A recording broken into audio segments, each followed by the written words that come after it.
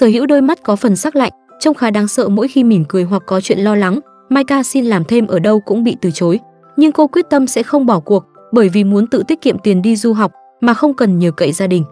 Ngày kế tiếp tại ga tàu, sau khi vô tình va phải một xoáy ca ngoại quốc, Maika cứ nghĩ đây sẽ là ngày may mắn của cô, đáng tiếc buổi phỏng vấn xin việc sau đó vẫn thất bại. Maika đang buồn thì chàng trai hồi sáng đột nhiên xuất hiện, nói rằng rất thích cô rồi xịt máu tùng lum, làm Maika sợ hết cả hồn.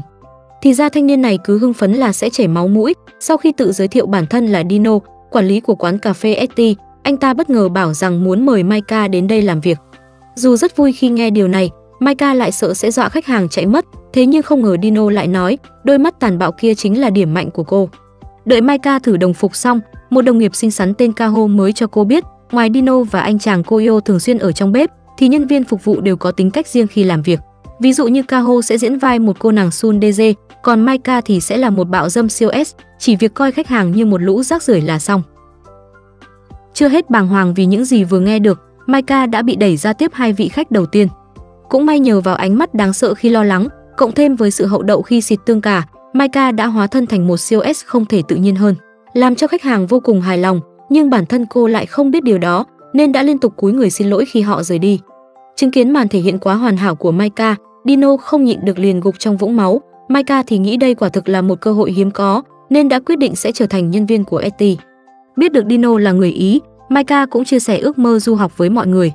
Thêm nữa khi nghe cô nói rằng rất yêu thích văn hóa nước ngoài, lọt vào đầu Dino chỉ có đúng một chữ thích, rồi giống như vừa được Maika tỏ tình, thanh niên ngay lập tức rưng rưng vì xúc động. Ngày hôm sau, Maika đến quán thì thấy Dino đang chơi với trẻ em, nhưng sau đó mới biết đó là Mafuzu, một sinh viên đại học cũng là nhân viên của quán, đảm nhiệm tính cách cô em gái Loli. Trong ca làm việc ngày hôm đó, có hai khách hàng cứ bàn luận về game, làm Kaho không thể tập trung được, bởi vì cô cũng là một con nghiện chính hiệu. Sau đó khi nghe Kaho tâm sự chuyện này, Dino liền ảo tưởng về game hẹn hò với Maika, nên đã bị Koyo và Mafuzu đập cho một trận. Nhặt lên tấm ảnh vừa rơi ra, Maika cứ tưởng cô gái trong hình là người yêu của Dino, nhưng anh ta nói rằng đó chỉ là một người họ hàng, còn động tác trong ảnh chỉ đơn giản là chào hỏi. Hết giờ làm, Kaho rủ Maika và Mafuzu cùng đi đến trung tâm trò chơi, tại đây ba người đã cùng chụp hình rồi gấp thú vô cùng vui vẻ. Sau đó Kaho cũng trình diễn khả năng nhảy nhót tuyệt đỉnh, nhưng dường như đám đông khán giả xung quanh lại bị thu hút bởi một thứ khác trên người cô ấy. Trở về nhà, Maika vẫn còn háo hức với buổi đi chơi nên cứ nằm ngắm ảnh chụp chung rồi cười mãi. Ngày hôm sau cô đến quán thì thấy mỗi Dino, vì vậy đã chào hỏi anh ta theo kiểu nước ngoài, khiến cho thanh niên lại mất đi vài lít máu. Để có thể trở thành một hầu bàn tốt hơn, Maika quyết định sẽ thử nghiệm một nhân cách mới, bắt đầu bằng việc tập mỉm cười thân thiện với khách hàng, không ngờ sự thay đổi này ở trong mắt họ chỉ đơn giản là một tầng cao mới của bạo dâm. Một lúc sau, khi thấy Dino giao tiếp bằng tiếng Anh với một vị khách nước ngoài, Maika cảm thấy vô cùng ngưỡng mộ, cô cho rằng đây là cơ hội tốt để học hỏi, nên đã tiến đến gần hai người để lắng nghe. Bị thu hút bởi mái tóc đen của Maika, vị khách kia liền sáp lại muốn làm quen, nhưng Maika lại chẳng hiểu anh ta nói gì, nên đành phải học theo một bộ phim, diễn một biểu cảm như kiểu mình đã nghe hiểu toàn bộ, làm thanh niên nước ngoài phê như con tê tê. Ngày hôm sau trong buổi họp tháng, cô yêu phàn nàn về việc quán có quá ít khách nữ, nên cậu ta không được xem mấy cảnh Yuri nóng bỏng, vậy nên Kaho và Maika đã quyết định diễn thử cho cô yêu xem. Tuy nhiên do là lần đầu chia sẻ thức ăn với bạn bè, Maika vì lo lắng đã biến phim tình cảm thành phim kinh dị, hơn nữa còn làm dính kem lên áo Kaho. Sợ rằng sẽ không thể giặt sạch cho Kaho, Maika quyết định sẽ tự làm bẩn áo để đền bù. Cũng may Mafuzu đã kịp thời ra tay điểm huyệt, nên lần này Dino không bị chảy máu mũi. Một lúc sau, cô đến quán thì vô tình nghe được Kaho đã nướng hết tiền lương vào đống máy thùng để đổi về một đống quà tặng linh tinh, trong đó có một mô hình ma pháp thiếu nữ mà cô ấy muốn đem tặng cho Mafuzu hoặc Dino. Món quà không thể nào chia sẻ, vậy nên hai người buộc phải tranh giành. Thế rồi khi chơi kéo búa bao theo phong cách mới, Mafuzu đã dễ dàng hạ gục Dino. Theo truyền thống mỗi khi bước sang mùa mới, quán ST sẽ chia nhân viên thành hai đội để thi đấu nhằm tìm ra món mới cho thực đơn chính và theo như kết quả bốc thăm thì Maika sẽ ở chung đội với Mafuzu. Ngày diễn ra cuộc thi, không hiểu sao món kem của đội Maika lại có vị vừa chua vừa mặn, nhưng may mắn là nó lại rất hợp với vai diễn tàn bạo của cô. Vì vậy đã được rất nhiều khách hàng chọn lựa, qua đó giúp cho đội Maika giành lấy chiến thắng. Tò mò về hương vị của món kem, Dino đã trở lại một phần để thưởng thức, thế nhưng vừa mới nếm thử thì anh ta đã vỡ vụn. Mọi người hỏi kỹ ra thì mới biết, Maika đã lấy nhầm tất cả gia vị nên mới tạo nên được cái hương vị khủng khiếp kia. Dù đã chiến thắng trong cuộc thi, nhưng món kem tàn bạo sẽ không thể đưa vào thực đơn chính. Maika cảm thấy rất có lỗi vì điều này, nhưng Mafuzu thì chỉ quan trọng chuyện thắng thua. còn hỏi Maika muốn phần thưởng gì, không ngờ Maika lại nói là đã nhận được rồi, bởi vì ngoài các thành viên trong gia đình thì đây là lần đầu cô được vui vẻ làm việc chung với người khác. Còn về phần thưởng mà Mafuzu muốn nhận được, chỉ đơn giản là chụp ảnh Maika trong trang phục cosplay ma pháp thiếu nữ. Dino thấy vậy cũng cầu xin được tham gia, nhưng đã bị Mafuzu từ chối thẳng thừng. Ngày hôm sau, Maika đến sớm thì thấy Dino đang ngủ dưới sàn, do đêm qua thức khuya xem anime. Nhân cơ hội này Dino cũng hỏi Maika về lý do cô yêu thích nước ngoài, thì được biết từ khi lên 5 tuổi Maika đã cảm thấy chán Nhật Bản, vậy nên khi lần đầu nhìn thấy người khách ngoại quốc của cha mình, cô đã cảm thấy vô cùng hứng thú, sau đó thậm chí Maika còn xin phép được nhuộm tóc vàng, khiến cho bố mẹ tưởng cô vì đôi mắt mà chán đời, nên đã ngay lập tức súng vào động viên. Nhận ra việc Dino vì nói chuyện với mình nên đã không còn thời gian để ngủ, Maika quyết định bù đắp bằng cách cho thanh niên gối lên đùi. Không ngờ đúng lúc này ba người khác tiến vào, chứng kiến cảnh này Mafuzu không một chút do dự, liền bảo Koyo gọi điện báo cảnh sát ngay. Vì muốn có thêm cơ hội được ở bên Maika, Dino quyết định hẹn cô đi chơi vào cuối tuần. Maika thì nghĩ đây là hoạt động chung của quán, nên đã thông báo cho tất cả mọi người. Vậy là đến chủ nhật Kaho và Koyo cũng có mặt, chỉ có Mafuzu là dứt khoát từ chối, cứ tưởng cô nàng này đã tinh ý nhận ra điều gì đó, không ngờ chỉ đơn giản là trốn ở nhà cày phim. Sau khi biết rõ toàn bộ sự tình, Kaho khuyên Dino nên tặng quà cho Maika, vì đó là cách đơn giản nhất để làm cho trái tim của một thiếu nữ rung động. Tuy nhiên dù đã đi hết một vòng trung tâm thương mại, Maika dường như lại chẳng muốn mua thứ gì, mặc dù Dino đã cố gắng giới thiệu.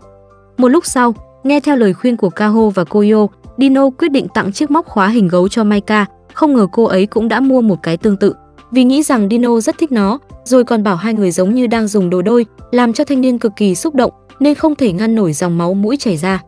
Ngày hôm sau, có một khách hàng đã để quên một cuốn tạp chí hai ten tự xuất bản, vì thứ này khá là nhạy cảm, nên Maika cho rằng cần phải hỏi khách hàng một cách tế nhị.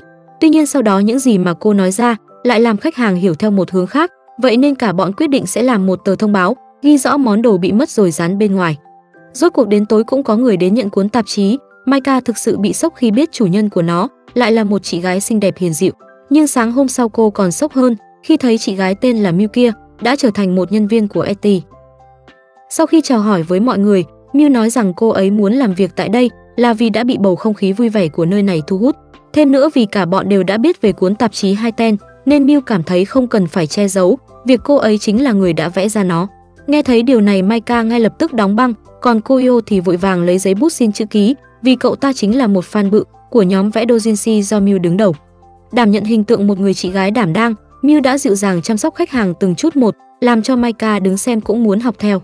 Tuy nhiên do hơi vội vàng, Maika lại lấy khăn bếp lau miệng cho khách, nên vẫn không thể thoát khỏi hình tượng bạo dâm.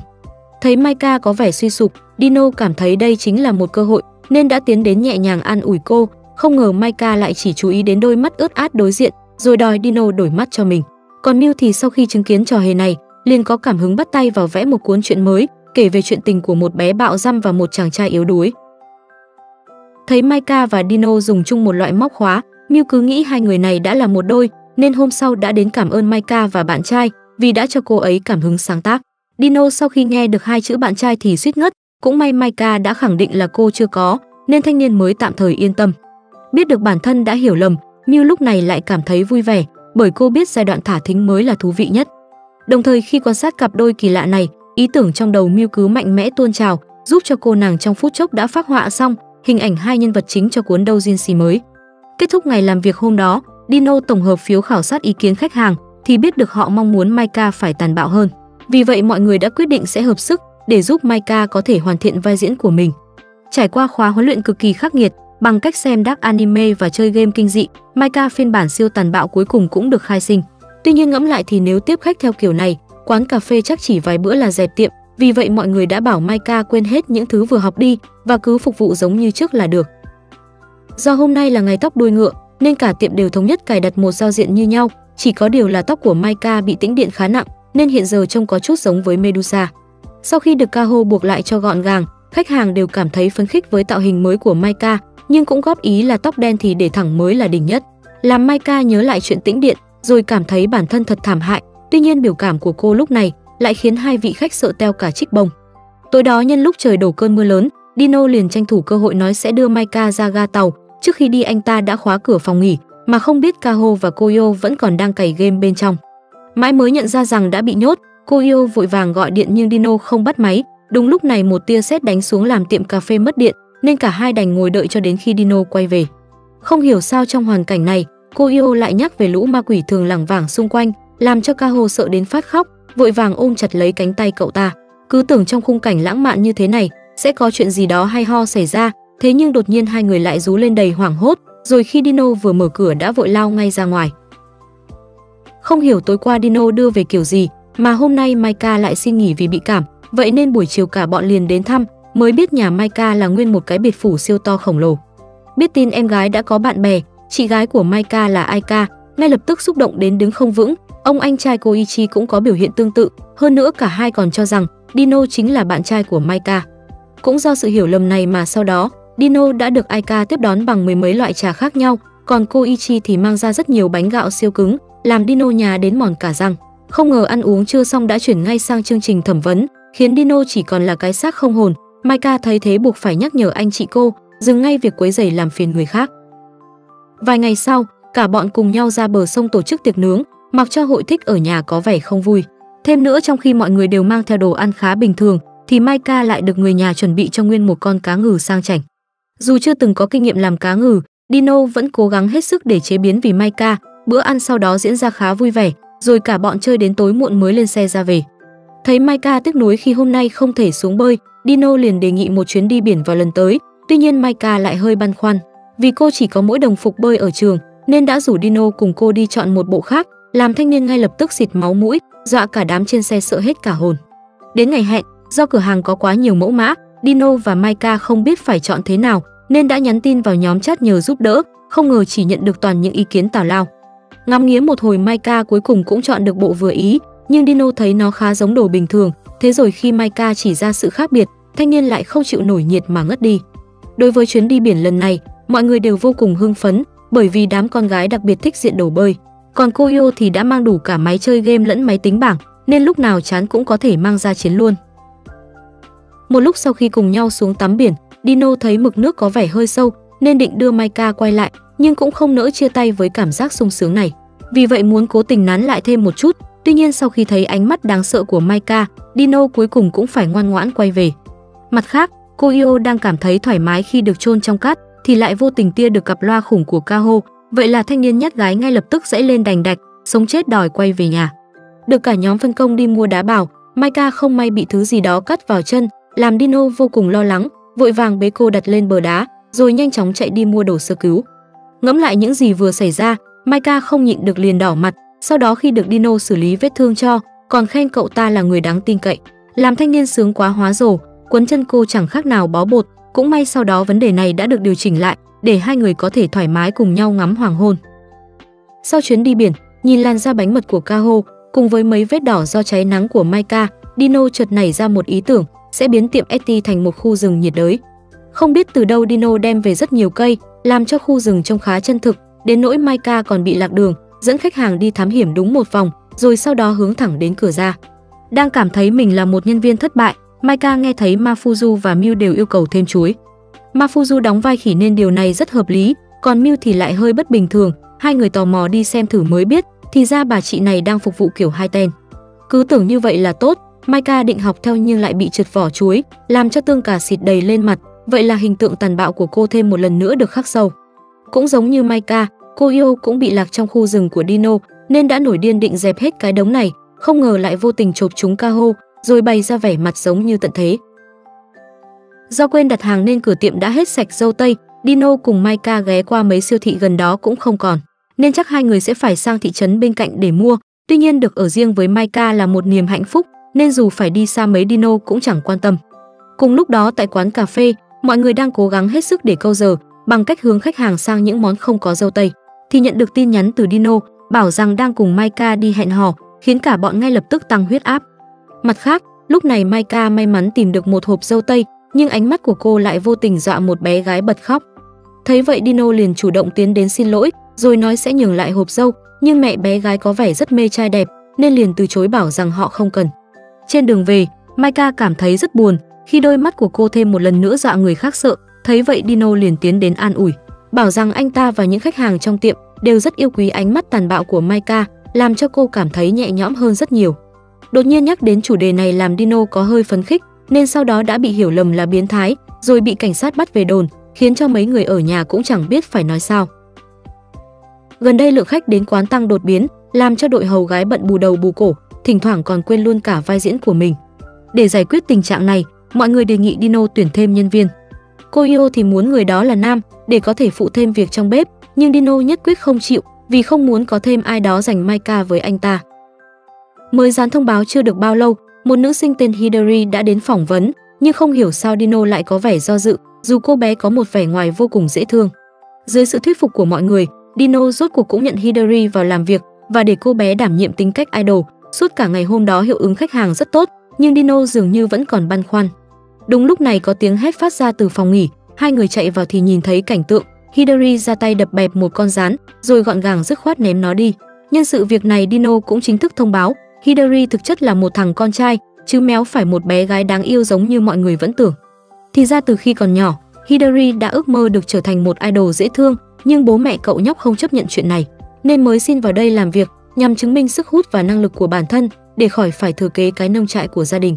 Ngày kế tiếp, sau khi tình cờ biết được chuyện Dino thích Maika, Hidari liền nói sẽ dạy Dino cách cưa gái, mở đầu bằng việc thường xuyên khen Maika, chắc chắn sẽ khiến cho cô ấy cảm thấy vui vẻ.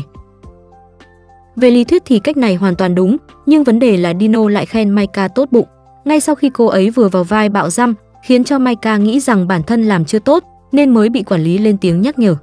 Thất bại trong lời nói thì phải dùng đến hành động. Dino được khuyên là nên nhiệt tình giúp đỡ Maika trong công việc, không ngờ thanh niên lại chạy đến diễn chung, làm cả bọn lại phải mất công giải thích với khách hàng. Sau hai lần thất bại vừa rồi, Hidari cho rằng Dino nên tặng thứ gì đó cho Maika, vậy là thanh niên chuẩn bị nguyên một bàn tiệc trong phòng nghỉ. Nhưng Maika nhìn thấy lại nghĩ, đây là đãi ngộ cuối cùng trước khi cô bị cho nghỉ việc, nên đã lo lắng suốt cả ngày hôm đó. Biết được Maika đã hiểu nhầm ý mình, Dino vội chạy đến giải thích rõ ràng, nói một hồi cặp đôi quay sang bảo tương đối thích nhau. Mọi người chẳng hiểu tương đối thích là cái quần què gì, nên chỉ còn biết quỳ dạp xuống đất. Ngày hôm sau, Maika cho bạn học xem ảnh chụp của chuyến đi biển lần trước, thì được khen là bộ áo tắm rất hợp với cô. Nghe vậy Maika liền kể đã chọn nó cùng với Dino, làm cô bạn kia tưởng hai người đang hẹn hò, vì thường thì con gái chỉ đi mua đồ tắm cùng với người mình thích. Tiếp đó trên đường, Maika phát hiện có một chú chó bị bỏ rơi nên đã dắt nó đến tiệm cà phê. Không ngờ mọi người lại nhận xét, mắt của chú chó này nhìn rất giống mắt Maika, làm cô ngay lập tức cho rằng đây chính là lý do khiến nó bị chủ nhân dùng bỏ. Vì anh chị của Maika đều rất ghét chó, nên cô không thể đem nó về nhà, những người khác cũng không thể nhận nuôi. Nhưng cô Yo biết chỉ có Dino là ngoại lệ, vì anh ta sống ngay trên tầng 2 của tiệm cà phê này. Không thể kháng cự lại ánh mắt tội nghiệp của Maika, Dino đành nhận lời tạm chăm sóc chú chó Owner. Maika cảm thấy rất mừng vì điều này, còn nói có chút ghen tị với con chó, vì nó được ở bên Dino cả ngày, làm cho cô Yo vô cùng ngạc nhiên. Kể từ ngày sống với Owner, Dino không thể thức khuya cày anime được nữa, bởi vì sáng sớm lại phải dắt nó đi dạo, Mafuzu cho rằng như thế mới giống người bình thường.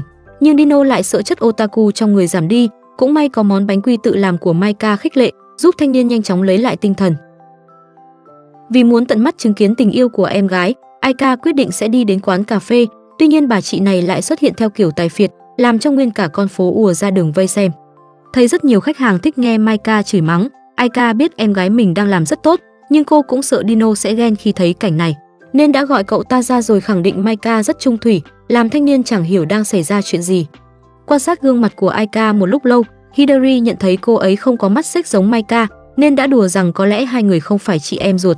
Không ngờ Maika lại tin là thật, rồi nghĩ ra câu chuyện mình được nhặt về nuôi, thấy vậy Dino vội vàng lên tiếng an ủi, nhưng Aika lại tưởng Maika vì Dino mà khóc, nên định vác giáo xử Dino, cũng may sau đó mọi chuyện đã được giải thích rõ ràng, Aika cũng ra về trong vui vẻ, chỉ có cô Ichi trốn ở một góc ngồi khóc vì Maika đã quên mời anh ta.